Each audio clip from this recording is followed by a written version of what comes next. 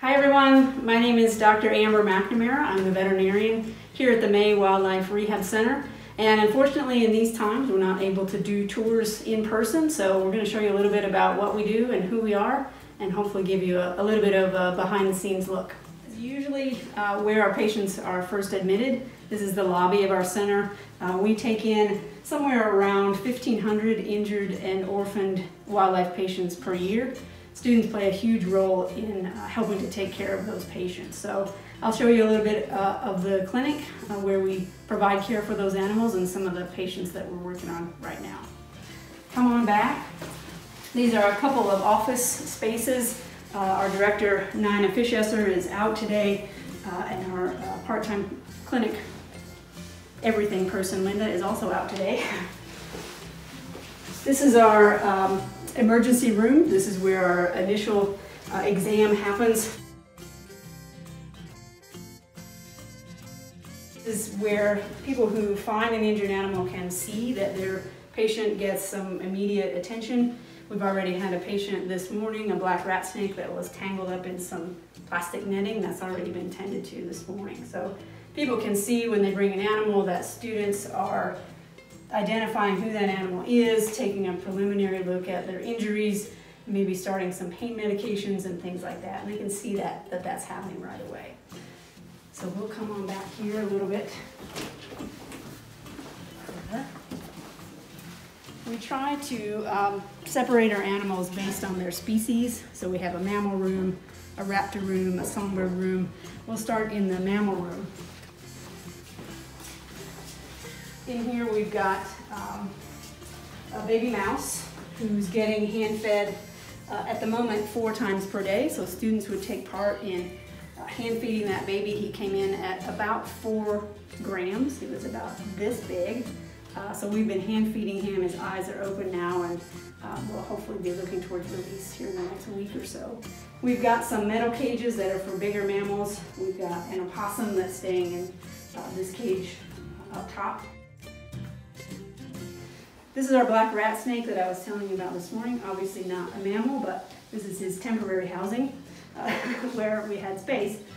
Um, you can probably see him in there. I've got some pictures of him um, entwined in the netting. It's pretty dramatic. Uh, what used to be our surgical suite, but is now our secondary treatment room. Students will help out with bandage changes, um, anesthesia procedures that might include wound treatments, uh, laser treatments, acupuncture, things like that that really benefit from a nice quiet space. We also added a window so that students can watch what's happening if they can't all be in the room at the same time. This is our kitchen. Uh, kitchen is not the most exciting, but certainly one of the more important spaces. Students are an integral part of making diets for the more than 100 species that we take care of. So not only do they need to learn how to identify who the species are, but know what their proper diet is and how to make it. This is our songbird room. We have started getting in baby songbirds this spring. We have a Carolina wren, a brown thrasher, northern cardinal, blue jay, robin. Again, all of their cage fronts are covered so they have some privacy and hopefully can stay as wild as possible. Uh, these babies will hand feed uh, usually every 30 minutes to every hour until they're um, eating on their own. During the height of the summer, this room may have 15 to 20 cages in it that are full of baby birds. So students kind of do a, a cycle, uh, starting in one place, going around and feeding, and um, keeps them pretty busy in here. So keeping them clean, keeping them fed, and, and monitoring their weight, all that, those are uh, important student jobs in the songbird room. This is our raptor room. So we have larger uh, metal cages in here. These are for patients like screech owls, red-shouldered hawks, red-tailed hawks, owls, and similar. Um, at the moment, we only have one raptor in the raptor room. That's our little fledgling screech owl. Uh, he's doing quite well. We also have some goslings that were a victim of a, a dog attack. Uh, they're in the bathtub. This is our utility room. So we have two raised bathtubs. Oh, wow. uh, the goslings are in the tub. Um, they're enjoying their bath time. So keep their curtain closed so that they have some privacy. They can take their bath and get some swimming time before they go back into their. So from here on, uh, this portion of the clinic is a new addition uh, in the last year and a half. So we've added on a new laundry facility, a new surgical suite, uh, an x-ray room and an x-ray machine, uh, a recovery space, and a lab. So that, from this point on, is all brand new. We have a supply closet, which is uh, not very exciting unless you like things to be organized and in it they're probably. Is our uh, laundry room. Uh, so during the summer, especially, the laundry machines are going pretty much full time, trying to keep our patients' spaces clean. So this is our uh, surgery suite, our new surgery suite. We wanted to add a space that was a little bit larger so that students could take part in the surgical procedures without being so confined and claustrophobic in a small room. So this has been a, a great addition to be able to maintain the professionalism of, of those procedures and, and let students take part if they want to. We got uh, intubation tubes if we need to breathe for the animal. Students learn how to use a stethoscope, how to monitor parameters while the animal's under anesthesia. This is our uh, new x-ray machine and x-ray room. Uh, this was uh, really a game changer for us in terms of being able to do x-rays on site. Um, previously we would have to send animals to Boone, which was stressful for the animals and took a lot of staff time to do that.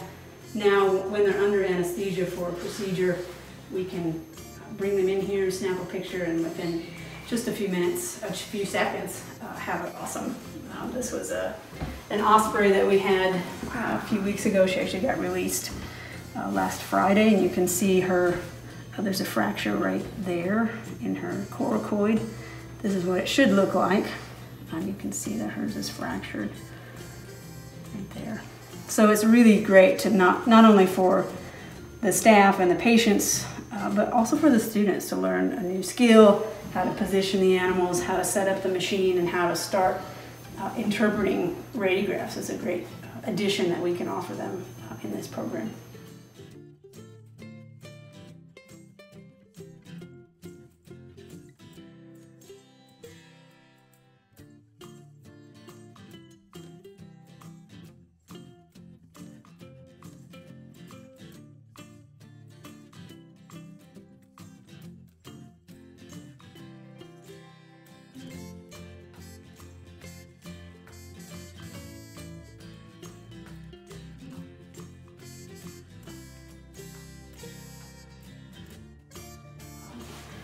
Our lab is where we would do um, some basic blood work. We might do fecal exams. Uh, we might do some um, cytology where we're looking at cells or evaluating the lead level in a patient's blood. All of that would happen in here.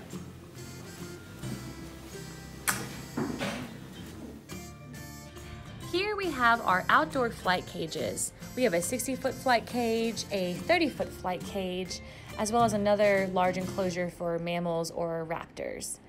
In the rehabilitation process, we use the flight cages for hawks to either regain their ability to fly after an injury to their wing, or if we have an orphaned hawk or an owl that has not been taught how to fly, we would use the flight cages to teach them those abilities. This is our turtle enclosure, and in this enclosure, we can keep about four turtles. Over here to the right, we have our ambassador turtle, uh, Seymour. Seymour lost his eyes to a dog attack, and so they named him Seymour for he sees no more. Um, he and the other turtles will stay out here in this enclosure, and we give them um, a very natural wild habitat that they're used to. Um, we also use our turtles and other ambassador animals in our education programs just to educate our local elementary schools on the difference in hawks and owls and falcons, um, as well as our community. We do programs for them to educate them on what to do when they find a lost or injured animal.